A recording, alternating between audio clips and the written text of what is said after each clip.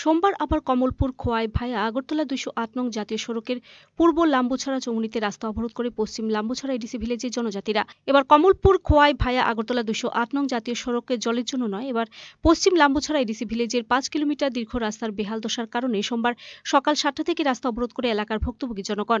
পশ্চিম Lambuchhara ADC ভিলেজের বসবাসকারী জনজাতিদের অভিযোগ, বিগত বামফ্রন্ট সরকারের আমল থেকে পশ্চিম লাম্বুছড়া এডিসি ভিলেজের পাঁচ কিলোমিটার দীর্ঘ রাস্তা বেহাল অবস্থায় পড়ে আছে।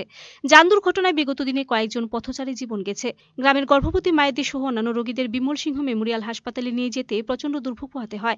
তাছাড়া রাস্তা বেহাল অবস্থাতে যে কয়েকটি অটো চলাচল করে, তারা ভাড়া অনেকটা বেশি নেন। তাই গ্রামবাসীরা অতিষ্ঠ হয়ে রাস্তা অবরোধ করে।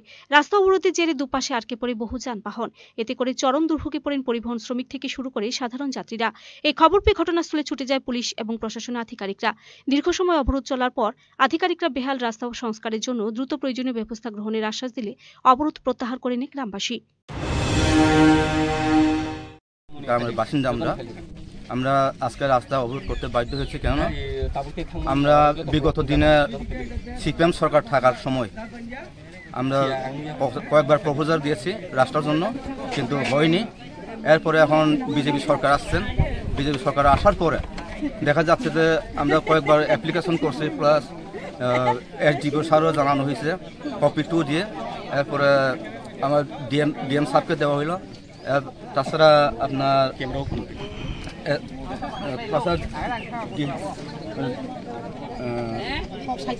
পিডাব্লিউডি পিডাব্লিউডিকে দেওয়া হলো। এর জন্য আমরা এখন কোনো সুরাহা পাইনি। তাছাড়া আমাদের এখানে দেখা যায় কয়েকদিন কয়েকদিন ধরে দুইজন লোক মারা গেছেন অ্যাক্সিডেন্টে আমরা সুরাহা পাইনি তার জন্যই আমরা এখন আমরা গ্রামবাসী মিলে আমরা এখানে অবরোধ করতে বাধ্য হচ্ছি। আমরা দেখেন, বিগত সময়ে আমরা অনেক কিছু সহ্য করেছি বা নিপীড়ন হয়েছি রাস্তার জন্য। এখন দেখা যাচ্ছে যে আমাদের পিঠটা দেওয়ালে থেকে যাচ্ছে।